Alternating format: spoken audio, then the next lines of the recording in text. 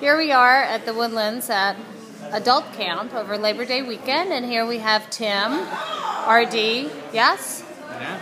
And Nancy, RD. These are two registered dietitians, two new registered dietitians, and they're going to tell you why they love using their Fagor pressure cooker. Mm-hmm.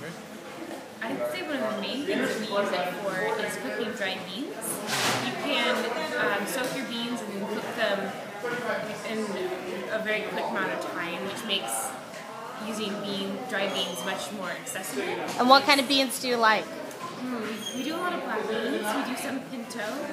I'd say those are our main ones. Sometimes we'll do a mixed bean soup in the pressure cooker.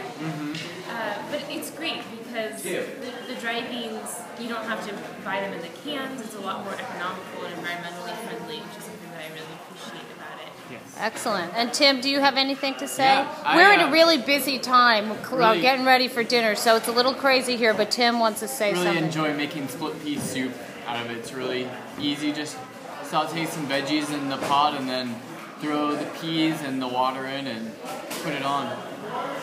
And uh, ours, the gasket wore out on it, and it was really, really easy to get a replacement gasket. It only cost a few dollars, and it came in the mail. Wow. And we've never had any problems with it. It's super easy to clean. It's got a really nice thick, heavy bottom, which I appreciate. So you can definitely um, saute things at the bottom without any worry about burning things.